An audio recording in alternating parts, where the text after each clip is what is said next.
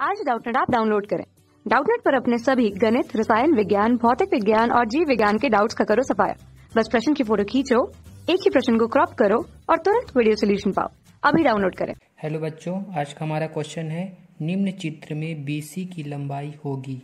हमें चार option A B C D दिया हुआ है और एक हमें समकोण त्रिभुज दिया हुआ है, जिसमें ए बी बराबर पाँच सेंटीमीटर और ए सी बराबर तेरह सेंटीमीटर दिया हुआ है।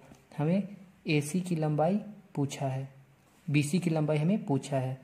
तो हम मान लेते हैं सी जो होगा एक्स सेंटीमीटर होगा। और हम जानते हैं पाइथागोरस प्रमेय।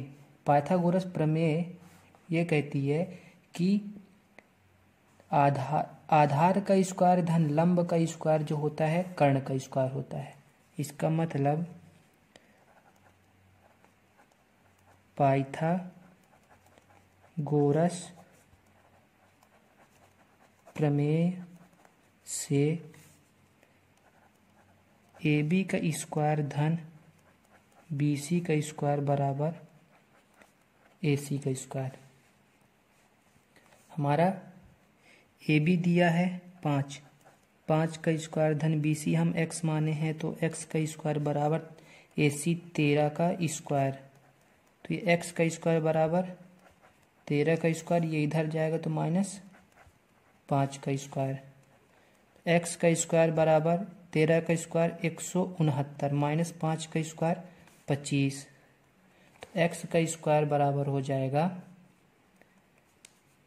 एक सौ उनहत्तर माइनस पच्चीस, एक सौ चवालीस.